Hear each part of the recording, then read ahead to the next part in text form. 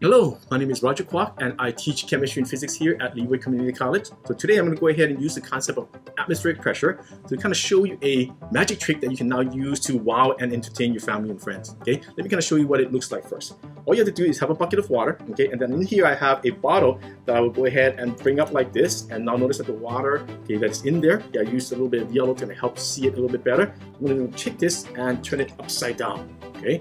So now I have the water in an upside down container and when I move my hand away, voila, the water is stuck in the bottle. So what's happening? As it turns out, it's because of the fact that I have a film down here, a piece of plastic down here that's holding the water up. So that seems like it's pretty impossible, right? But as it turns out, it's not. It is due to atmospheric pressure. So the air pushing underneath is actually helped to support okay, the plastic film that's now holding up the column of water. And if I were to use just okay, the atmosphere, I can actually hold a column of water that's about 10 meters or 34 feet tall. So this is not surprising it's able to hold this. But if I remove the support, let's see what happens.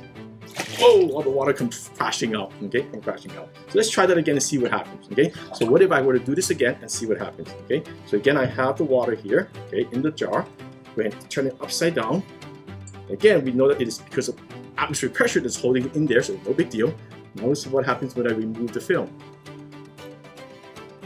What's holding the water in the jar now? As it turns out, I can now cause the water to come out on command. Come on out. Hmm? Come on out.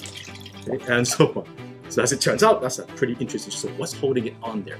As it turns out, it has to do with not only atmospheric pressure, but also with something called surface tension, where the water particles have a tendency to grab hold of each other. So the way you would do this trick is you actually have a bottle that has the plastic cap with the hole cut into the cap itself like this. So this is the first it turns out, the second one is actually a separate bottle that's a little bit different, okay? So this one's pretty easy to perform. You fill it up with water, okay? And then basically you put some sort of plastic sheet, like plastic, or you can even use cardboard, for example the cardboard piece there. The cardboard, of course, is going to be one use only. So you can now take your hand away and it will hold that water in place. Now, of course, it could be good to have some paper towel around just so that you can you know, clean up the mess that you're making.